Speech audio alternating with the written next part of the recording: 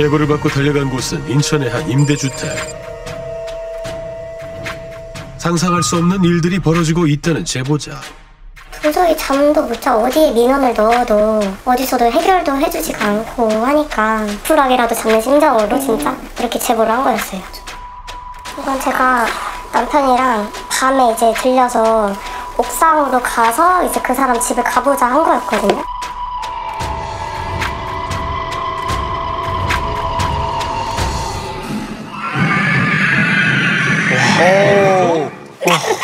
좀 무서워서 가까이 가지 못하겠어요. 어, 너무 무서워요. 네. 진짜 소름 돋아요. 저 지금 이거 그때 그때도 다시 소름 돋아요. 어, 당연히 무섭겠죠.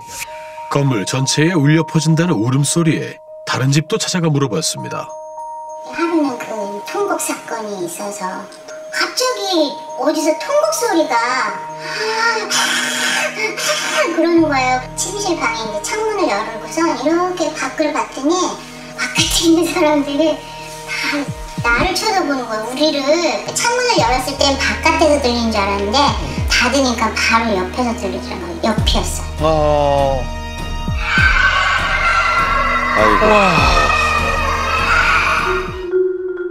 하지만 이곳의 주민들은 비명 소리만 듣는 게 아니었습니다. 망치로 쿵쿵 하는 것 같아요. 쿵쿵. 막 엄청 세게 울리거든요. 이게 어우, 진짜. 아이고, 야. 이게 뭐예요? 그리고 귀마개도 막 제가 엄청 막 구비해 두고 맨날 이거 끼고 자고 이거 끼고 주무세요? 네 이거 안 끼면은 언제 어떻게 소리가 들릴지 몰라서 계속 깨니까 잠을 잘 써. 네 잘 못 자요 건물이 울릴 정도면 말이 울려요. 안 돼. 볼링공인 줄 알았어요. 진짜 걱정돼요 균열이 갈 것 같아요 와, 이 무슨 새똥이로도 쳐도 그 정도는 아니고 이집 다 부서질 것 같아요. 건물을 뒤덮어버린 소리의 정체는 무엇일까? 뭐 소리의 뭐 울림이라든가 어떤 충격력 정도를 봤을 때 이제 도구를 가지고 이제 벽을 치는 것은 분명한 것 같습니다. 사람이 직접 때린다기보다는 뭔가 자- 자동으로 설치된 도구를 가지고 때리지 않나. 소리의 출처가 어딘지 주민들에게 물었습니다. 사오로 알고 있어요. 사오? 싸우는 지- 진짜 사오. 사오예요. 캐리어 끌고 딱 끌고 40대, 50대 초반? 그냥 나갈 때는 뭐 아주 멋지게 하고 나가요. 캐리어 끌고 목소리는 조용 좋은 데가 이야기도 엄청 졸려하고 딱해요 말할 때는. 낮에는 어, 문제가? 없나 보죠?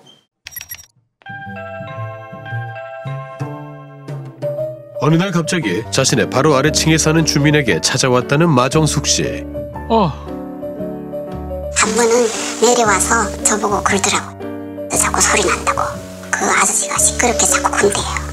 아, 윗집에서 뭔가 시끄럽게 했나 보죠? 밤마다 뭐 그냥 소리가 쿵쿵 들린다는 둥, 뭐 이상한 물소리가 들린다는 둥, 뭐 이상한 이상한 짓을 한다는 둥 막 그랬나 봐요. 이상한 짓은 뭐예요? 뭐 성행이 막 그런 거, 예? 성행이 소리가 들렸다. 어 그런 것도 막 야, 이게 도대체. 위층 남자가 온갖 소음을 내서 괴롭다며 피해를 호소했다는 그녀. 과연 그 주장은 사실이었을까? 어, 진짜 궁금하네요. 분이 좀왜 피해를 끼쳤을 수도 있을까요? 저희도 그래서 사람 말을 양쪽 다 들어봐야 된다라는 생각이어서 이렇게 지켜보고 어, 그렇죠. 있는데 가 집에 없는데도 시끄럽게 한대요 아저씨가 나가 있었고 이제 집에 아예 없었는데 너가 시끄럽게 했다 뭐 보고 갔다 뭐 경찰에 신고하고 사람이 없는데도요. 그녀의 항의는 점점 더 거세졌습니다. 아저씨 문을 몽둥이 이렇게 막 이런 걸로 때려가지고 지금도 보- 보면은 문이 이렇게 약간 좀 파손되어 있어요. 어, 어. 실제 위층 남자가 살던 집 아, 현관문입니다. 그래요? 예. 자국이 조금 남아 있습니다. 도저히 견딜 수가 없으니까 막 그래서 이제 이사를 가기로 결정을 한 거지. 뭐 결국 마정숙 씨를 피하기 위해 이 빌라를 떠날 수밖에 없었던 위층 남자. 그때의 충격이 아직도 생생하다는 그를 만나봤습니다. 어, 당사자에게 직접 얘기를 들을 수 있겠어요. 음. 잠자가서 그냥 막 올라와서 막 소리 지르면은 말도 못했어요. 선생님이 근데 혹시 진짜 뭐 그런 적은 있으세요? 뭐 훔쳐 듣는다, 샤워 소리를 이상하게 낸다. 그런 거는 그 갑자기 초저녁에 경찰이 온 거예요. 무슨 일로 오셨어요? 했더니 밑에 층에서 소음 때문에 왔다고 신고 들어와서 왔다고 열받잖아요. 혼자 사는 사람이고 소음 날 데 없는데 아, 혼자 두 분이 살아요? 경찰 본부 밑에 층에서 내려가서 들리는지 안 들리는지 확인시켜 줄 테니까 한 분은 밑에 내려가서 확인해라 소음이 나는지 뛰어다니면서 확인시켜 줬어요. 그 밑에 층에서 소리가 나냐 안 난대. 경찰도 안 난다고. 네, 확인하고 갔어요. 경찰이 와서 확인까지 했네요. 예. 하지만 그날의 일은 시작에 불과했습니다. 그때부터는 밖에 나가서 소란을 피우는 거예요. 보기만 하면 욕설을 퍼대는 거예요. 아주 죽여버린다는 식으로 막 그- 아이고. 심장이 벌렁벌렁하고 이 나이 먹들은 난 그런 경험을 처음 겪- 겪어봐가지고 그리고 그가 이사를 결심하게 된 결정적인 사건. 주머니에서 꺼내더니 가위 같은 거를 너이 X야 너 이- 이거 너 죽일 수 있어 내가 그러는 거예요. 원래 이웃분들이랑 자주 교류를 했는데 이제는 근처에도 못 가신다고 합니다. 그렇겠네요. 저 빌라는 이제 잘 안 가세요? 안 가죠. 무서우니까 안 가죠. 근데 집에도 놀러 가고 같이 밥이라도 먹고 하면 좋은데 못 가잖아요. 제가. 위층 남자가 이사를 간 후에도 문제는 끝나지 않았습니다. 어느 날에 이제 9시가 넘었는데도 드릴 같은 거 막 드륵드륵 하는 소리 있잖아요. 그런 소리가 계속 나는 거예요. 우리 집이 시끄러워서 자기가 그랬다는 거예요. 예, 그 아저씨가 이사 갔는데도 시끄러운 거 봐서는 이제는 우리 집이라는 거예요. 시끄럽게 하실 일이 있으셨어요? 없죠. 아, 저거는 이제는 아래층에 사는 총각이 시끄럽다며 항의하기 시작한 그녀. 낮에 내 아들이 혼자 있을 때 와서 시끄럽다고 문을 열어줘서 이제 들어왔어요. 들어와서 화장실에 가서 물도 내려보고 안방에 또 뭐가 있는가 안방 것인 가서 보고 다 그랬대요. 도가 지나친대요. 시끄러운 거 짰는가 이제는 다시는 찾아오지 말라고 그랬대요. 그랬는데도 후에 또 왔어요. 아이고. 한 몇 번 찾아왔거든요. 그 여자분이? 당시에 마정숙 씨가 아래층에 찾아왔던 실제 영상입니다. 아,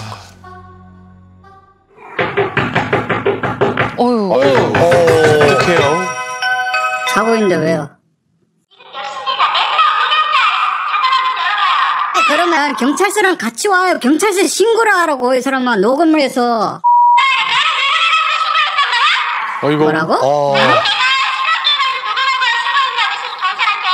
그러니까 당신이 시끄러면 신고를 하라고 이 사람아. 아이고. 아니 그럼 경찰서랑 같이. 와봐요. 경찰서. 진짜 실제로 시끄러우셨던 거 아니 자고 있었어요 둘 다. 음, 섬뜩에는 아우 나 이 소리 막 듣기도 막이 보면 막 꿈이 나올 거 겁이. 나. 어. 그날 이후 그녀의 소음은 더 심해졌습니다.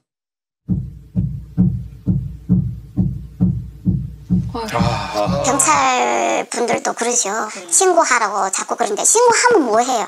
와서 왔다가 그냥 가고 그냥 가고 하는데 신고를 한두 번 했나요? 수없이 했는데 이제 건강마저 악화되고 있다는 아래층 주민.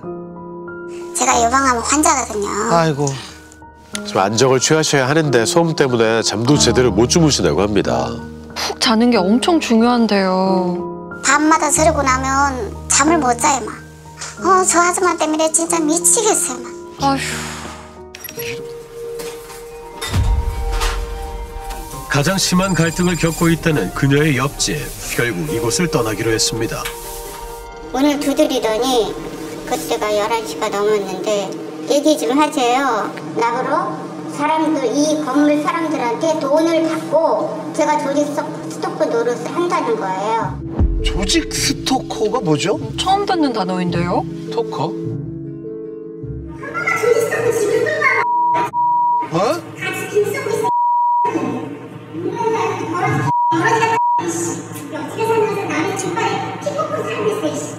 무슨 말일까요? 무슨 말인지 모르겠지만 무섭네요.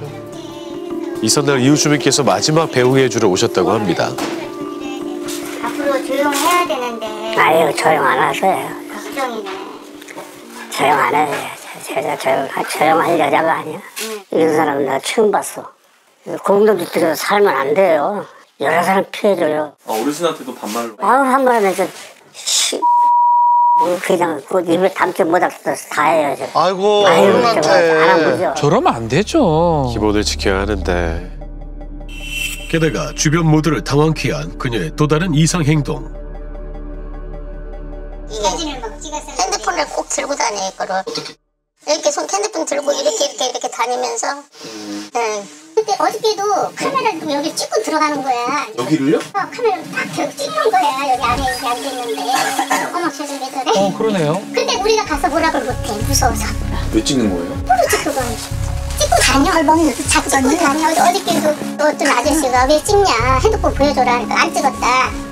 안 찍었다 그러고 사진을 왜 찍어? 사진 안 찍었다고 얘기하잖아 지금. 사진 안 찍었다고 얘기하잖아 경찰 부르라고 얘기하잖아 지금. 그래서. 응? 억울하다고 내가. 또 나는 야. 뭐 무차별적으로 촬영하는 그녀 때문에 불쾌함을 느낀다는 주민들. 불쾌하죠. 자꾸 찍으면. 그러니까 상식적으로 이게 말이 통하는 사람이면은 저희가 노력을 해서 뭐 얘기라도 하고 왜 그런지 들어보고 들어보기라도 할 텐데 그것조차도 안 되는 사람이니까 지난 어, 우리 그때 올라오는데도 살 이렇게 사진 이렇게 들고 걸어서 한 번도 못 가봤으니까 걸어서 가보자 하고 올라왔는데 그니까 무심코 우리가 올라가 층까지 갔어요. 그랬더니 이 여자가 그대로 서 있는 거예요. 너무 놀라가지고. 어, 문 앞에서 내려가자 그러고 내려왔는데 이 여자가 따라와갖고 여기까지 와서 막 이렇게 촬영을 하는 거예요 저희를. 아, 그대로 막 심장이 발레발레 떨리고 뒤에서 쫓아오면 어쩌지? 아씨 이거 너무 잘못 이상하다 아휴. 그런데 취재 중 그녀에 대해 새로운 사실을 알아냈습니다. 로크인 냉장고를 음료에서 냄새가 난다고 해서 에? 어, 음료에서 냄새가 난다고요? 무슨 냄새가 난다는 걸까요? 마정숙 씨가 편의점에 왔던 그날의 CCTV 영상입니다. 어 저게 무슨 행동일까요? 이상한데요? 다른 사람이 쓸 수도 있는데 저렇게 하면 안 되지 않나요? 안 되죠. 냄새가 왜 이렇게 나요? 네, 물건 사기 싫어요 하고 그냥 나가셨어요. 그거 그래서 직접 확인해 보셨어요? 네 확인해 봤는데 안 났어요. 냄새 안 나죠? 네. 어 냄새가 안 나는데. 네. 며칠 뒤에 그녀가 편의점에 다시 찾아왔다는 연락을 받았습니다. 음료 하나를 먹고 어, 위가 타는 듯한 통증과 함께 구토를 계속했다. 그래서 나는 이걸 환불을 해야겠다. 원성이 높아졌는데 그랬더니 갑자기 카메라를 켜셔가지고 제 얼굴을 바로 찍으셨어요. 핸드폰 잡았는데 내 물건에 왜 크게 소리 지르시면서 내 물건에 어디다 손을 대? 그래서 그 후에 다 환불해드리고 아이고. 더 이상 오시지 아이고. 마시라고 말씀드리고 그러고 나가셨어요. 냄새 항의를 받은 또 한 사람. 선생님한테도 뭐 따로 말씀하셨었나요? 그쵸 저하고도 한참 떠오르는 사람이에요 와. 네, 아, 통화 끊으셨는데요. 네 택배에 아무 일 안 하셨다는 거 맞아요? 택배가 택배가 냄새가 엄청난데 그냥 난 게 아니라 얼굴 온몸이 따갑다고요. 택배만 받으면 아이고 아, 그걸 왜 저한테 항의를 하시냐고요 저 아무 짓도 안 하고 물건만 배송했는데 근데 왜 그래요? 다 항의하시라고요 아이고 뭘 시켰길래. 이런 골판지로 된 건데 옷이에요 네. 따갑대요 그리고 그 다음날 바쁘면데 뜨거우지도 않았어요 이해가 어? 안 가는 행동들이 많네요. 어 그러니까요 결국 인천도시공사에 퇴거 요청서까지 제출한 주민들. 하지만 상황은 나아지지 않았습니다. 임대차 계약을 할 때 그 계약서 내용에 해본 조치가 있으면 없어요 사유가 그런 사유가 어 그대로서는 이제 대화 자체가 이제 상당히 힘든 사회다 보니까 저희가 그래서 재계약하지 말자. 그녀의 계약 만료일만을 손꼽아 기다린다는 주민들. 그냥 이 사람이 나가기만을 기다려야 될 것 같은 상황? 아니면 우리가 이사를 가거나 음, 그냥 그 둘 중 하나일 것 같아요. 하루하루 불안한 이들의 일상. 결국 각 층의 양해를 구하고 소음을 직접 들어보기로 한 제작진. 그때 소음이 들린다는 연락을 받고 조심스레 나와 보는데 어, 오, 좀 조금 긴장되는데요. 어, 저도요. 그러니까요. 숨을 못 쉬겠는데요. 불안해요.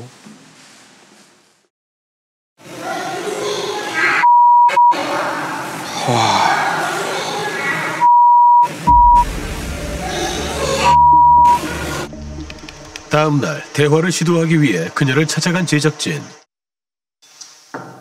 선생님 계세요? 선생님 잠깐 여쭤볼 게 있어서 방문드렸습니다. 혹시 대기 안 계시면 제가 명함 두고 갈게요. 이쪽으로 한번 연락을 좀 부탁드려도 될까요? 음, 안에 안 계신 것 같은데요? 그런데 갑자기 현장으로 출동한 경찰. 경찰분들이 왜 왔습니까? 싸우신 거예요? 네네. 만나고 싶지 않고 누가 이제 문 두드린다고 나오라고. 신고해. 아, 안에 있으셨던 거군요. 자주 혹시 출동 하셨어요? 어, 혹시 네, 저희는 저 다니고. 주로 어떤 건으로 좀 출동을 나오시는 편이세요? 다 소음이에요. 소음의 근원지가 어디죠? 소음의 그런지는 저기 주로 뭐 어느 시간대에 오시는 거는 시간은 사실 대중은 없어요. 그냥 새벽이고. 아이고. 우리도 만나기 힘들어요. 본인이 신고할 때만 만나고 네. 남들이 신고할 때는 문을 열지 않아. 그러니까 우리가 들어갔, 그래서 따고 들어갈 수도 없잖아. 만나 뵙기 진짜 어려운 분이네요. 그러니까요. 다음 날 다시 찾은 빌라. 그런데 또 경찰이 출동해 있었습니다. 또 왜요? 아니 지금 신고해가지고 지금 더러운 거 아니야? 누가 신고했어요? 아 본인이. 잠시 기다리고 있던 그때 어, 어, 어. 경찰과 함께 밖으로 나온 그녀. 나타났어요. 저분 맞죠? 저 어제 전화드렸던 은희 씨. 선생님 혹시 오늘 대화 조금 어려우실까요? 무슨 일 있으세요? 아유, 그냥 가버리시네요. 몇 시간 뒤 그녀에게 연락을 받았습니다.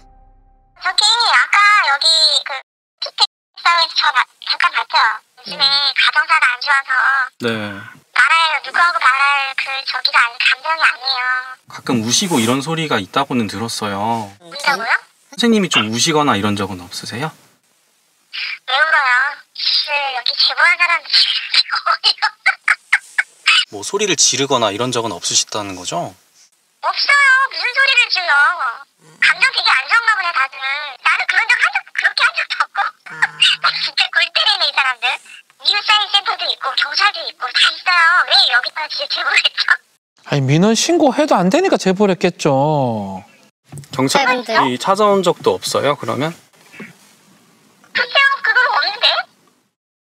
주민들의 말과는 달리 모든 사실을 부정하는 그녀. 이사를 계획하거나 이런 계획도 좀 있으세요? 만기 지나면 이사 가야죠. 만기가 됐으니까 거의. 뭐 지금 혼자 사신 지는 좀 오래되셨어요? 아하.